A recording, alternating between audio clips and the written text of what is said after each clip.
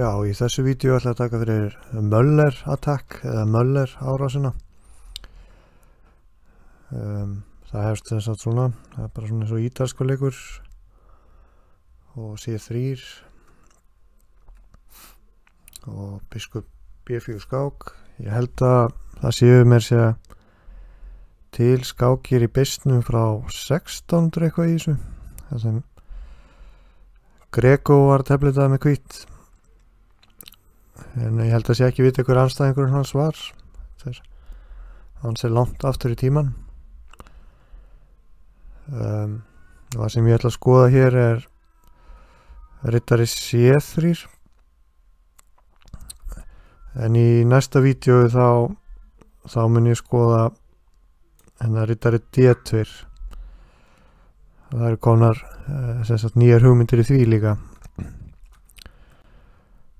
Já, rittari sé þrýr og rittari þeir byrja E4, hrókering. Þetta er svona variantu sem maður læriðu fljótt þegar maður byrja að tefla sko en það er alltaf að tala um að ja, svartu stæði ágætlega en það er svona það er hérna ný hugmynd sem ég ætla að sína á eftir. Biskutröpu C3 þá er D5 upplápunumarki en það er náttúrulega bara teóriðan í þessu. Og ég ætla að byrja hérna að rittar E5 aðaleikurinn er biskup F6 rittar E5 er ekki ekki svo slæmi leikur en það fáir sem vita af honum. Og það tefnir svona B3 C3 og rittar C4 Dráning D4, hótar báðan rittarinn, peðan á G7 Hrókering, nú ef svarturinn er halda í kallin þá teflist það svona. Og segjum dráning F6 skák og kongur F8 kemur hrókur E5 þetta er nú allt saman þekkt sko. Hrókur einu sér Já, þetta er ekki góð staða svart. Rittarni getur verið á E5 og svo kemur F3 og hrókur G7 skák líka þarna.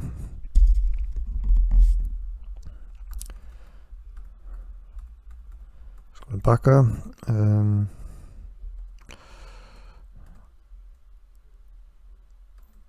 já, já, og ef hann leikur kongur D8 þá er biskup G5 og Rittarni dreipur á dreipur á þarna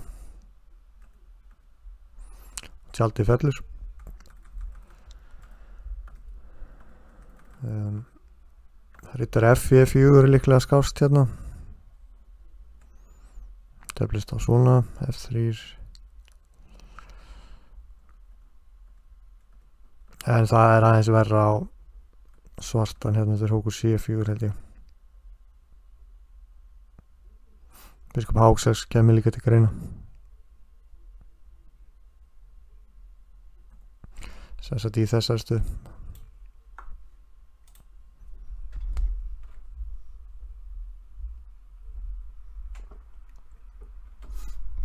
Já, við skulum baka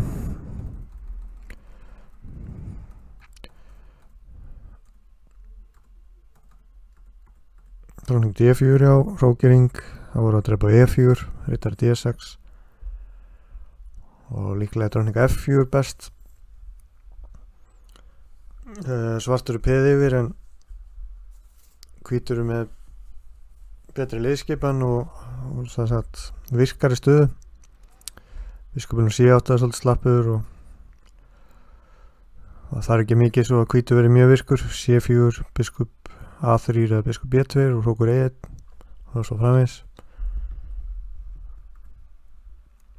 uh, hér eru nokkri leikir. Uh, byrjum á dráning F6 það er bara best að fara í endatabli hérna. Og rítar D4 og B8 og sjáum að peðin hérna á D7, D6, F7 F6 eru mjög slæm. Biskupin á C8 er óvirkur. Og eftir rítar F5 þá er hvítur með mjög þægilega betri stöðu. Rókurinn fyrir á E1 Rókurinn getur svo að fara á E7 setna og svo framins og hangir á DSS alltaf. Þetta er betra á hvítan Það er svo. Já, rittar einar átta segjum það. Rókur einar 1 DSX mm. Biskup B2 geti komið til greina til dæmis með hugmyndinni C4 næst dráning G3 hótum biskup H6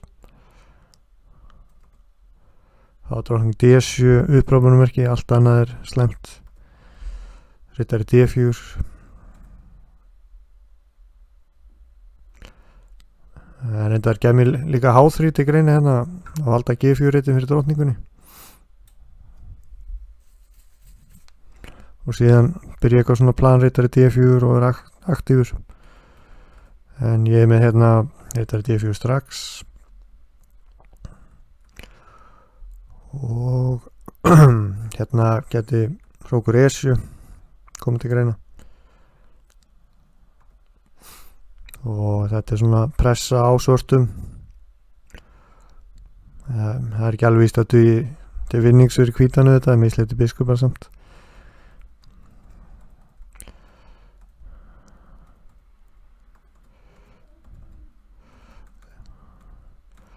Já, þannig að þetta er hérna er þetta E5 já, frókering B6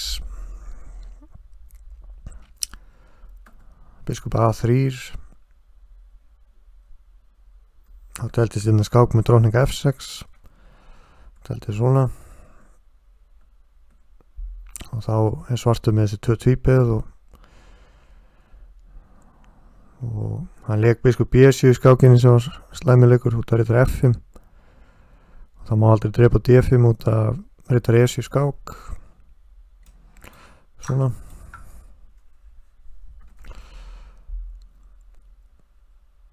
En það er spurning kannski, átt hann að leika biskup A6 og hvað segir við, hókur F1 þetta er, já, þetta er svip sammónum sko aðan þá voru þetta F5 þetta er ekki alveg klýr en ég held samt að þetta sé nú getur verið getur verið hættuleg staða fyrir svartan eftir hókur E7 sko. Þess að kvítu myndi gærna vilja valda rittar en hérna setna með G4 eða koma hinn úr róknum auðvitað í spilið með hókur E1 og svo hangir auðvitað á D6 og líka þetta skáka hása stundum.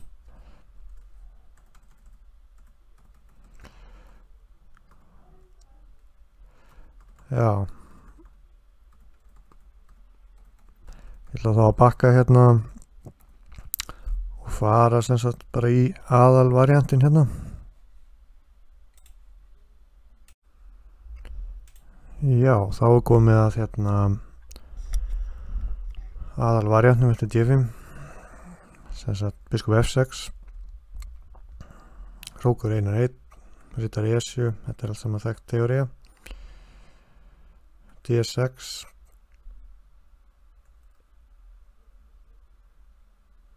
biskup G5 upprópunumerki tekið. Og hér er sem sagt H6 aðalegurinn sem við erum skoða eftir.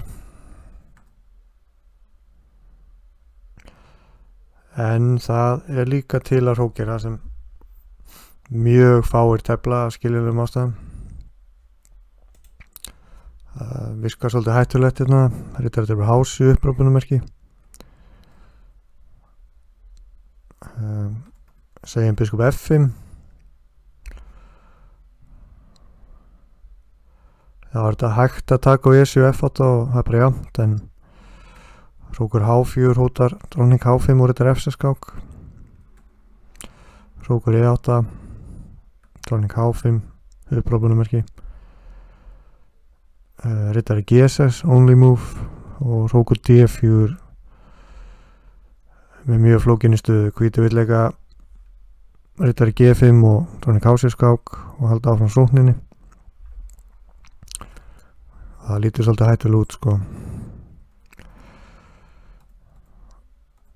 Svartu getur líka drepið.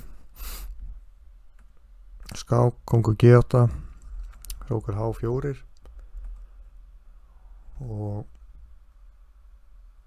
ef hann leikur F6 þá þá gæti G4 verið hugmynd með þá er aðal hugmyndinleika sem sagt biskup D3 og H, biskup Hásjúskák næst. Og, og ef hann leikur biskup D7 þá geti já, biskup D3 komið til greina.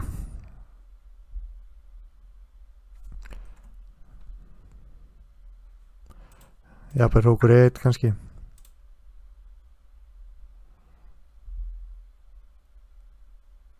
Þetta er eitthvað svona food for thoughts að menn geta að skoða þetta.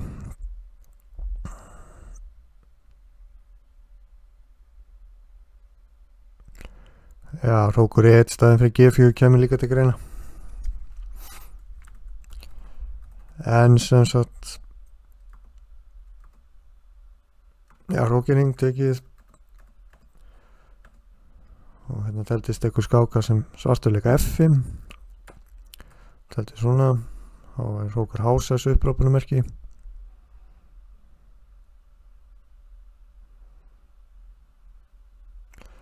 og hér verður svartur að leika rókur G8 sem er upprápunumerki um, Norskur stórmestari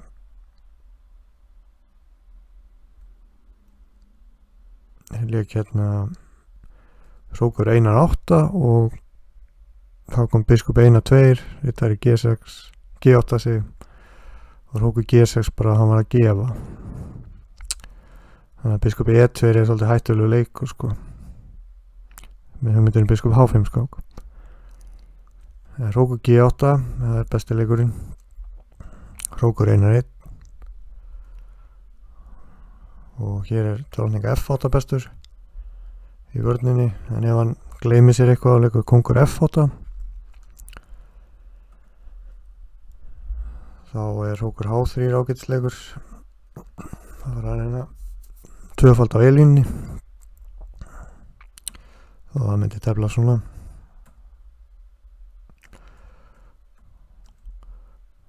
Já biskup D1 þetta er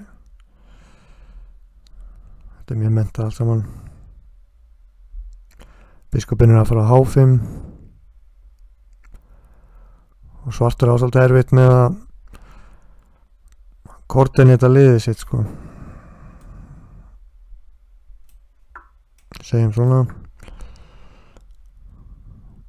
Og svartur myndi líka kongu D8 þá er alltaf biskup F7 sko. Tekið á G7 svo kemur biskup E6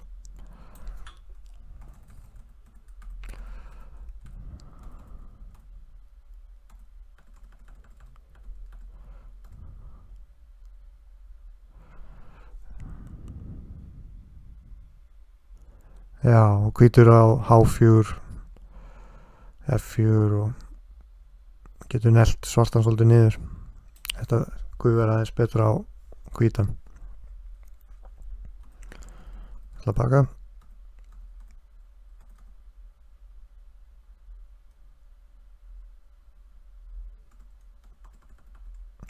Já, dróninga F8 er semst bestur biskup B5 Eh, hugmyndið með biskup B5 er að láta svartani vandræði með að þróa biskupinu C8 um, segjum A6 þá kemur hókur E til E6 pleflið svona.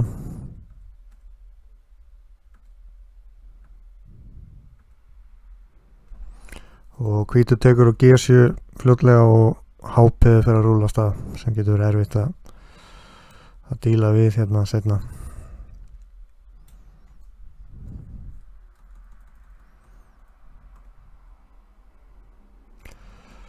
maður sjá.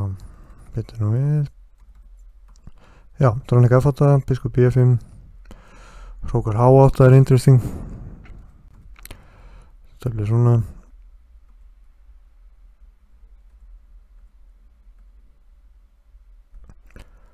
Já, þetta er hugsanlega bara jættibli sko.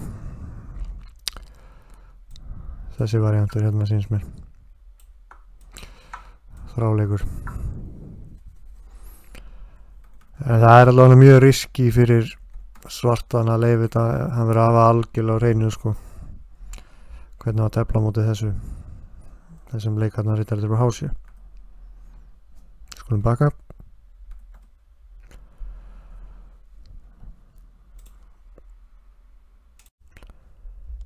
Já, þá kom ég hérna að aðalvariantnum það sem ég var með í huga. Sem sagt drippið á G5 H6, drónik E2 H-drippið G5, rókur einar 1 þetta er allt saman þekkt. Biskup E6, D-drippið E6 D-drippið E6 er sem sagt gamla, gamla línan.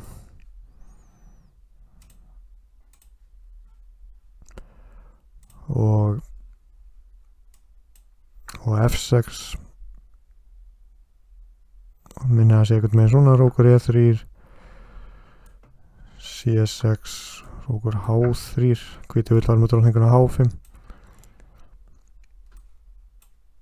svona og G6 minnum mig.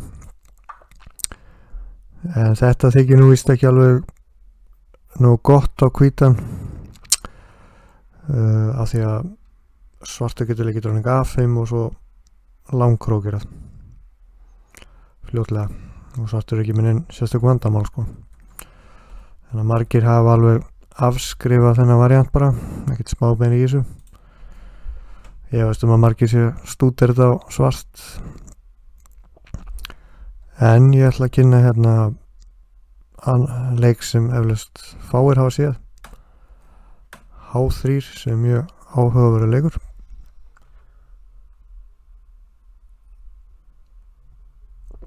og það er lengi skáki besnum í þessu. Svartur er bara já svartur þarf svolítið að hugsa þessu um hérna. Nú kongur F8 hefur telst.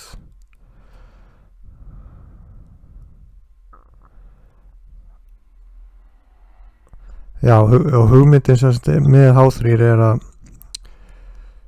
eins og í staðin í mainline þegar við leikur hókur E3 hókur H3 skiptum á hókum þá erum við að halda semst í tvo hóka og hvít sko.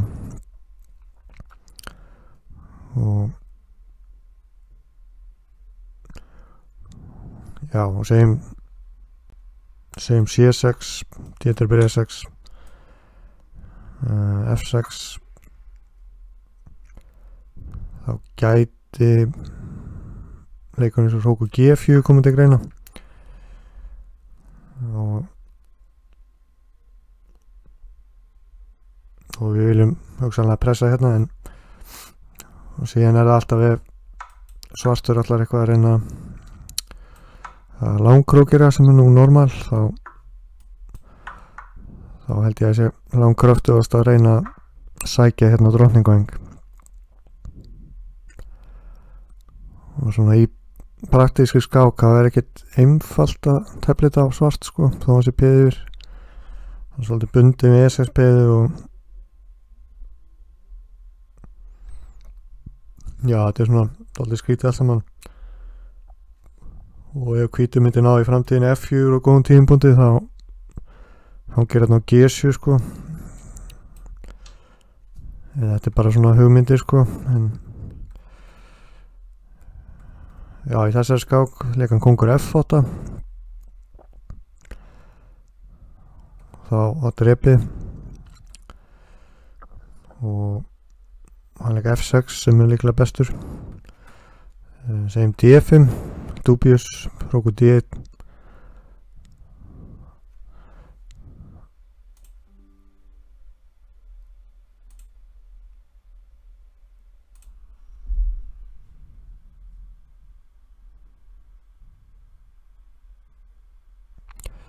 Í, já, já, Róku D og að drepa á D5 já. Og ef maður leikur F5 þá drepa á D5 þetta er svona mjög skemmtileg taktík hérna. Tekið á B7 og drónu G8 dreifum við á E4 þetta eru tvö upprópun tvær upprópunir það er alltaf máta á D8 ef hann dreifur á E4 þannig að dróning E8 róku D7 og hérna hótu við sennilega bara að leika dróning E5 næst. Svo getum við tekið á G5 eða C7 með dróningu og þetta er tapað á svart.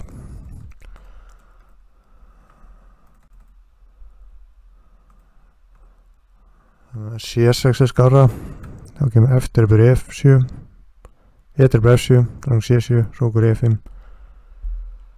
uh, með hugmyndin að sagt þrefald á E-línni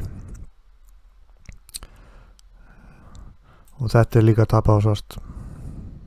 Þessi stað að svartu getur mjög auðveldlega lendi vandræðum hérna sko og F5 þá er bara hrókur E3 og G5 er mjög veikt sko. Hrókur G3 getur verið að koma. Uh, F6 F6 var líklega bestur hérna. Hrókur G4 þá teltist hrókur H6 um, CSS var líklega betri leikur. Þá var biskup D3 hugmynd og þá sjáum við að við tökum semst hásjurreitin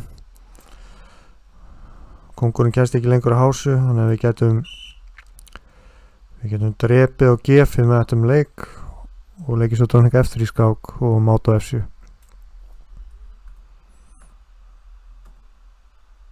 það myndi tefla svona einhvern megin dróning G3 hvítur stendur betur já F4 er að koma líklega og mikið pressa á svörtum hana sko baka aðeins. Þannig að F6 rókur G4 rókur H6 og leikar dróning F3 D5 um, og í skákinni þá drapa hann á G5 sem er alveg áhugavert en hugsaðlega var biskup D3 bestur hérna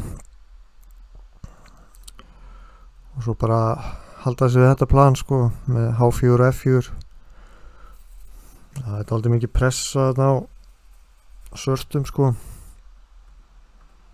Geti telt svona róku C1 þá.